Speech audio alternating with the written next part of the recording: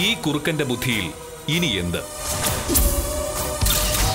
ആ കുബുദ്ധി എന്ത് തന്നെയായാലും നേരിടുന്നത് ഇനി ഇവൾ ഒറ്റയ്ക്കല്ല.